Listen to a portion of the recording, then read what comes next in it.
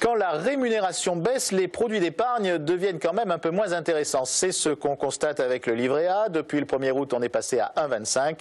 Résultat, 50 millions d'euros seulement de collecte par les établissements bancaires, contre pratiquement 2 milliards, 40 fois plus le mois d'août de l'année dernière, donc un an avant. C'est tout simplement la baisse de la rémunération euh, qui fait que ce livret A est beaucoup moins attractif. Alors euh, les gens vont être obligés d'aller vers euh, des produits peut-être un peu plus risqués, comme des contrats d'assurance vie plus dynamiques.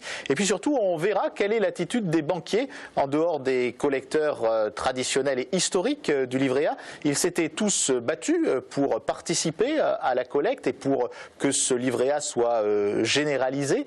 Et puis ils se sont aperçus après qu'il y avait une grande partie des ressources du livret A qui remontaient à Paris, qui étaient donc consignées, qui étaient centralisées et qu'une grande part de la manne de leurs clients leur échappait.